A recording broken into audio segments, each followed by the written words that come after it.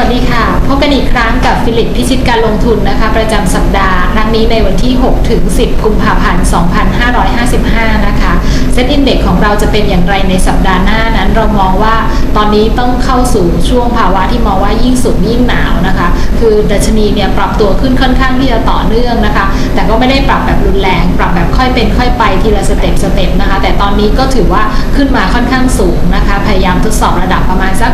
1,100 จุดกันอยู่หลายครั้งนะคะในสัปดาห์นี้ แต่ก็ยังยังอาจจะยังดูเอ่อกล้าๆกลัวๆอยู่นะคะยังไม่ได้ขึ้นไปเบรกซะทีเดียวนะคะ แต่ว่าถ้ามองในแง่ของ ปัจจัยที่จะแวดล้อมตลาดในรอบของสัปดาห์หน้าแล้วเนี่ยนักลงทุนก็อาจจะยังคงมองอยู่กับเรื่องเดิมๆ ที่ยังค่อนข้างจะซ้ำซ้ำซากอาจจะดูจำเจนิดหน่อยนะคะ เรื่องของอประเด็นข้อสรุปของกรีซนะคะ ที่คาดว่าคนก็คาดหวังกันเยอะว่าน่าจะได้ข้อสรุปกันออกมานะคะ ในช่วงสุดสัปดาห์นี้ด้วยซ้ำนะคะ อาจจะเป็นข่าวบวกเล็ก ๆสำหรับต้นสัปดาห์หน้าถ้ากรีซเนี่ยมีการประกาศข้อสรุปมาที่ชัดเจนไปในทางบวกนะคะ แต่ว่าถ้าไม่สามารถได้ข้อสรุปหรือว่าต้องเลื่อนออกไปอีกเนี่ยตรงนี้คิดว่าน่าจะเป็น negative factor เข้ามานะคะนักลงทุนก็อาจจะต้องจับตาตรงนี้ใกล้ชิดนิดหน่อย ซึ่งถ้า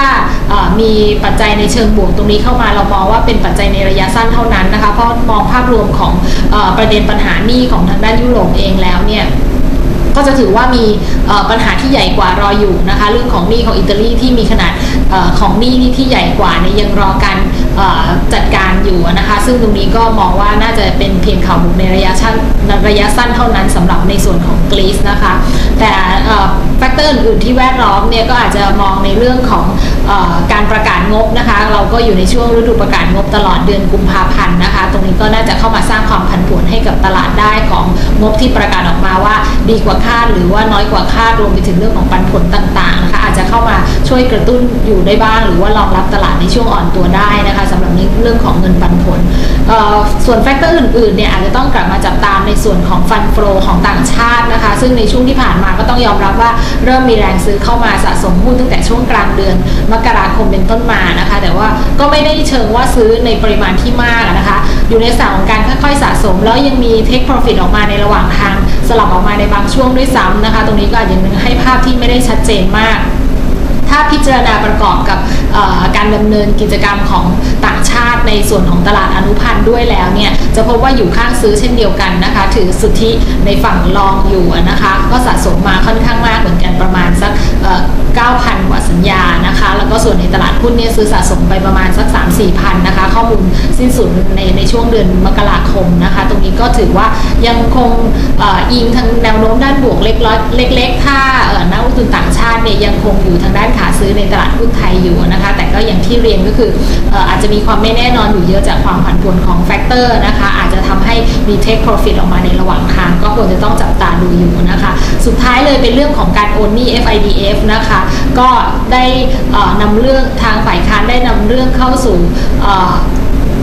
ตัวศาลรัฐธรรมนูญนะคะ ตรงนี้ก็คงต้องรอระยะเวลานะคะว่าให้ศาลพิจารณาอาจจะใช้เวลาอีกสัก 30 วันตรงนี้นักลงทุนในตลาดที่ factor in เรื่องของ การถูกเก็บค่าธรรมเนียมของกลุ่มแบงก์เพิ่มเติมเนี่ยก็อาจจะดูผ่อนคลายลงได้ระดับหนึ่งนะคะ แต่ก็ต้องดูที่ท่าทีของรัฐมนตรีด้วยนะคะ ซึ่งล่าสุดเนี่ยทางรัฐมนตรีคลังเนี่ยก็ยังไม่ได้มีท่าทีที่ว่าจะยอมยุติหรือว่าชะลอเรื่องดังกล่าวนะคะ ยังคงมุ่งมั่นที่จะเดินหน้าต่อนะคะ ก็คงต้องต้องไปดูข้อสรุปของทางธนาคารแห่งประเทศไทยกับทางรัฐบาลนะคะว่าจะได้ตัวเลขค่าธรรมเนียมออกมาเป็นเท่าไหร่ซึ่งถ้าเป็นอยู่ในปริมาณที่ตลาดคาดการณ์กันเอาไว้ในช่วงก่อนหน้านี้ก็คิดว่าไม่น่าจะได้รับผลกระทบเยอะนะคะ เพราะราคาก็ factor เข้าไปค่อนข้างเยอะแล้วสำหรับกลุ่มแบงก์นะคะ เรามองแนวต้านของสัปดาห์หน้าอยู่ไม่ไกลนะคะ คิดว่าไม่น่าจะมี upside ค่อนข้างที่จะน้อยนะคะ อยู่ที่ประมาณ 1,098 ถึง 1,110 จุดเท่านั้นนะคะ ส่วนในส่วนของ downside ซึ่งมองว่าน่าจะมีกรอบมากกว่าอาจจะมี profit taking ลงมานะคะ ก็มองแนวรับที่ 1,078 ถึง 1,068 จุดนะคะหุ้นที่เลือกเข้ามาเนี่ยยังคงอยู่ในสั่งการเสี selective นะคะ ซึ่งก็จะเลือกหุ้นที่มีคาดการณ์เรื่องของผลประกอบการที่ดี หรือมีเงินปันผลในเกณฑ์สูงๆรับนะคะ ก็ก็น่าจะดูสามารถเข้าไปถักเก็งกำไรได้มากกว่านะคะ ในรอบสัปดาห์หน้านะคะ เราแนะนำหุ้นเข้ามา 4 ตัวเหมือนเช่นทุกครั้งนะคะ ตัวแรกที่เราแนะนำเข้ามาคือตัว AIT นะคะ อยู่ใน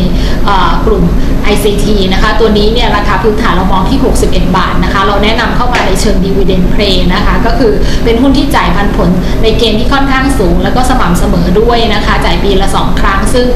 ก็จ่ายครึ่งปีไปแล้วนะคะ ในรอบนี้ก็จะจ่ายครึ่งปีหลังของปี 54 นะคะ เราคาดการณ์ว่าอย่างน้อยต้องได้เห็น 3 บาทนะคะ ซึ่งก็ให้ยิวประมาณสัก 6%ก็ถือว่าค่อนข้างดี แล้วก็แนวโน้มในอนาคตข้างหน้าเนี่ยแบ็กหลอกที่เขาถืออยู่ในมือเนี่ยก็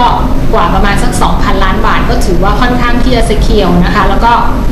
ในแง่ของนโยบายภาครัฐที่จะเข้าเข้ามาสนับสนุนนะคะ เรื่องของการลงทุนเพื่อการขยายโครงข่ายต่างๆ จะมีงานประมูลเข้ามานะคะ ตรงนี้ก็มองแนวโน้มค่อนข้างดีสำหรับ AIT นะคะ ราคาที่ 61 บาทนะคะ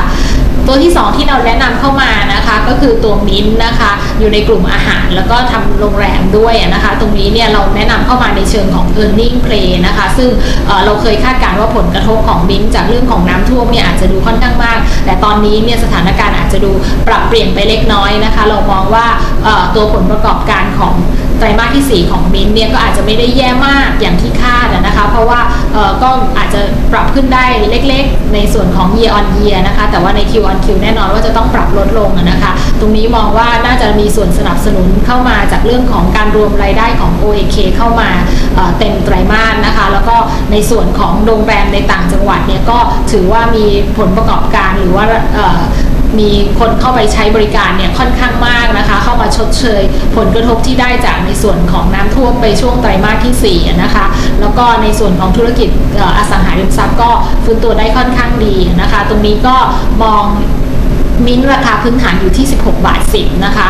ตัวที่ 3 ที่เราแนะนำเข้ามานะคะ คือตัวซิงเกอร์ตัวนี้เล็กหน่อยนะคะ แต่ว่าก็แนะนำเข้ามาในเชิง e a r n i n g เหมือนกันว่าจะมองว่าไม่ได้แย่กว่า ที่เคยคาดไว้นะคะมองว่าน่าจะดีกว่าด้วยซ้ำนะคะจาก e a r n i n g ของไตรมาส4ที่คิดว่าได้รับผลกระทบของ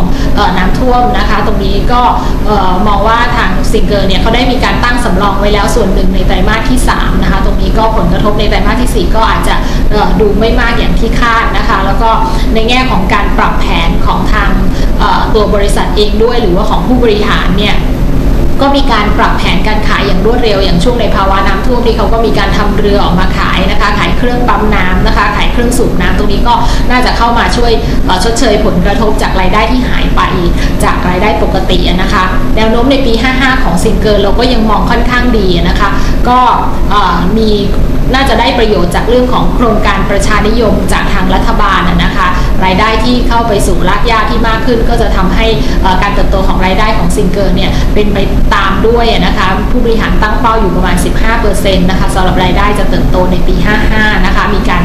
ขยายเป้าหมายการขยายสาขาประมาณ 10 แห่งด้วยนะคะราคาพื้นฐานตรงนี้เรามอง 8 บาท 80 นะคะ แนะนำเข้ามาเก็งกำไร ตัวสุดท้ายนะคะก็คือตัวสมบูรณ์ Advanced Technology ตัวนี้ถือว่าเราแนะนำต่อเนื่องจากเมื่อสัปดาห์ก่อนนะคะราคาพื้นฐานยังมองที่เดิมคือ 27 บาทนะคะธีมในการลงทุนก็เหมือนเดิมก็คือมองว่า เรื่องของภาพการฟื้นตัวของอุตสาหกรรมยานยนต์เนี่ยยังคงเป็นไปได้ด้วยดีนะคะ แล้วก็ในแง่ของเงินลงทุนของโตโยต้าที่เข้ามาก็จะสนับสนุนรายได้ของทางสมบูรณ์แอดวานเทคโนโลยีที่มีตัวโตโยต้าเนี่ยอยู่ในโครงสร้างรายได้ที่ที่สัดส่วนค่อนข้างเยอะนะคะ ประมาณ 25%รองจากตัวมิซูบิชินะคะ ตรงนี้ก็ถือว่าเรามองแนวโน้มการฟื้นตัวเนี่ยน่าจะเป็นไปได้ค่อนข้างดีนะคะนักทุนน่าจะมองข้ามในส่วนของผลกระทบจากไตรมาสที่ 4 ไปมากแล้วนะคะ ราคาพื้นฐานก็อยู่ที่ 27 บาทแนะนำต่อเนื่องนะคะ ก็ทั้งหมดนี้ก็เป็นหุ้นที่ทางฟิลิปแนะนำเข้ามา แล้วก็ภาพโดยรวมที่เรามองในสัปดาห์หน้านะคะ ก็ขอให้ท่านนักลงทุนเนี่ยติดตามเรื่องของความเคลื่อนไหวของปัจจัยต่างๆ อย่างใกล้ชิดแล้ว ก็ลงทุนด้วยสตินะคะ ถ้ามีหุ้นมีการปรับตัวลดลงก็ไม่ต้องตกใจมากนะคะ หรือว่ามีการปรับตัวเพิ่มขึ้นก็อย่าเพิ่งไปไล่ราคามากเพราะว่าปรับขึ้นมาค่อนข้างเยอะแล้วนะคะ จนกว่าจะพบกันใหม่ในสัปดาห์หน้า วันนี้สวัสดีค่ะ